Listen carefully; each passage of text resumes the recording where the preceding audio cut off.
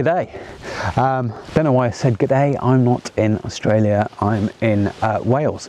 Um, and today I thought I'd just give you a quick introduction of how to focus a uh, tilt shift. Now, if you've watched my uh, any of my previous vlogs, you'll realise that um, I predominantly use um, the Canon 24mm TSE as for my imagery, and the reason for that is I, I, I tend to go for strong foreground images, and I want, uh, and I, but I still want um, the background um, the uh, the interest in the background to be uh, in focus as well. So I want to get that that sharpness uh, throughout. Um, with a standard lens, you can't quite achieve that. Um, even at uh, f11, um, you're still going to have um, some drop off uh, towards the distance if you're focusing on a close foreground.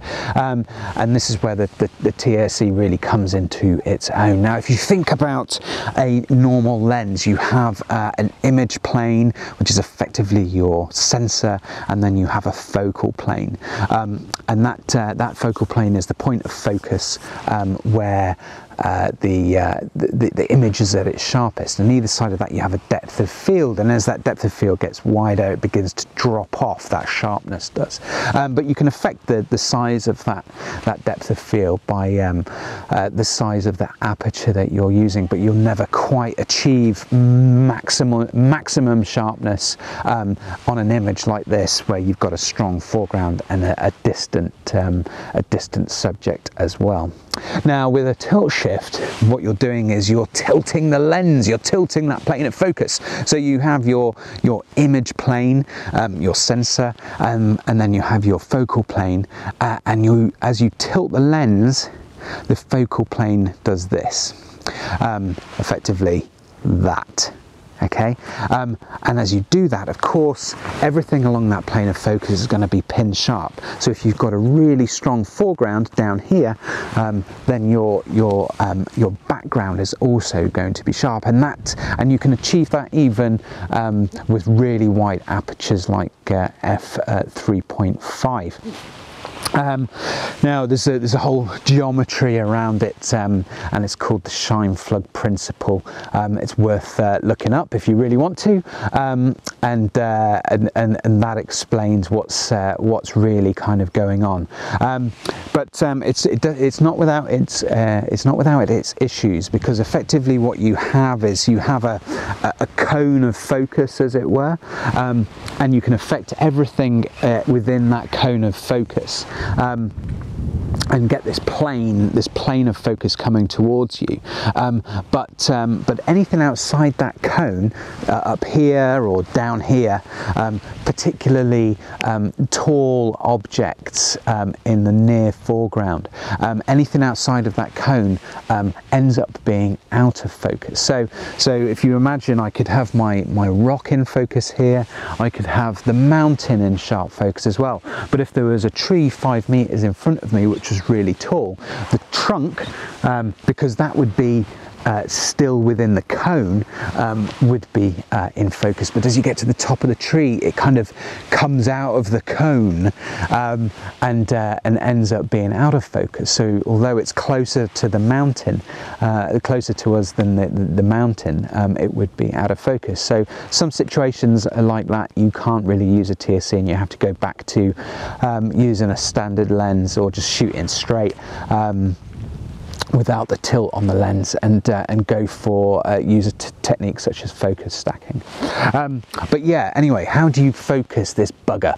Um, right okay it's actually pretty easy. Um, especially these days since uh, cameras now have live view that you can zoom uh, you can zoom in on. Um, before uh, before live view you had to rely on optical um, and you weren't really able to um, to zoom in on a point. It all had to be done by eye. Um, but now, uh, but now we can we can zoom in. So we have to make sure that the lens is in absolute alignment to begin with. Um, we can zoom in, and uh, to begin with, what you do is you go to the nearest object that you want to be in focus. And in this case, it's the it's the rock down here.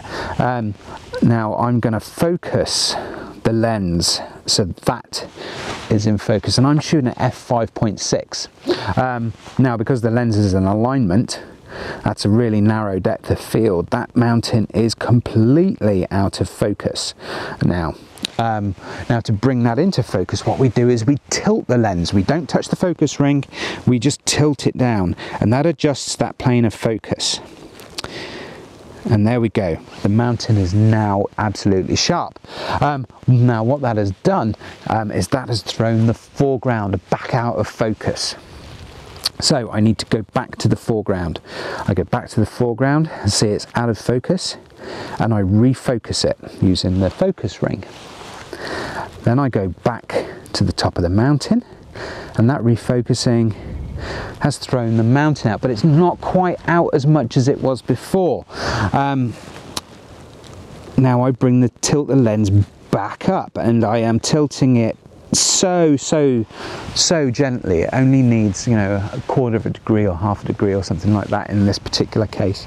Um, and that mountain is now back in focus. That's thrown the foreground out of focus again but again by not as much as last time. Um, so what I'm doing is I'm kind of I'm, I'm refining I'm refining that plane of focus. So it starts like this and then you do this effectively until you reach that point where it's sharp at both ends. Um, so now I've just used the focus ring to get that foreground back in focus. And if I go back to the mountain I can almost certainly tell yep the mountain is still in focus. I don't have to tilt it anymore. Um, so that final adjustment was just, just enough to bring the, the foreground into focus, but the background stayed in focus as well. So now I'm ready to take my image. Now I was, um, I was, I had this open at 5.6 for a reason, and that's because I haven't got my remote release with me. And what I want to do, do is I want to get a, um, a 30 second exposure just to flatten out these uh, ripples. Um, in the mountain. Um, and if I did that today using my 10 stopper, I would need something in the order of about a two minute exposure. So, um, so if I bring it down to f5.6, I can achieve uh, a 30 second exposure um, and not have to resort to bulb.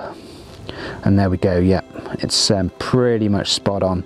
So uh, there we go, ready to take the shot.